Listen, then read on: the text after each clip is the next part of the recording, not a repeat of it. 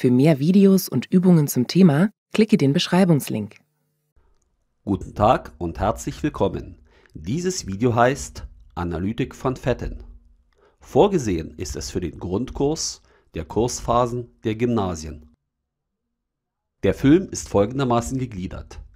Erstens der Begriff der Analyse. Zweitens Beschreibung von Fetten. Drittens Vorversuche für die Fettanalyse.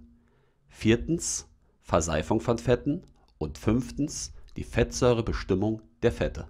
Die Ergebnisse werden im Punkt 6 kurz zusammengefasst. Erstens Analyse. Im Regelfall hat man es bei der Analyse mit einem sogenannten Stoffgemisch zu tun. Dieses Stoffgemisch muss in Einzelstoffe zerlegt werden. Dafür verwendet man eine Stofftrennung. Die Einzelstoffe müssen in Reinstoffe zerlegt werden. Das geschieht durch eine sogenannte Reinigung oder Stoffreinigung. Und erst wenn man es mit reinen Stoffen zu tun hat, werden sie der chemischen Analyse unterzogen. Mitunter jedoch ist es notwendig, Klicke jetzt einfach den Link im Beschreibungstext, schaue das komplette Video und löse die dazugehörigen Übungen.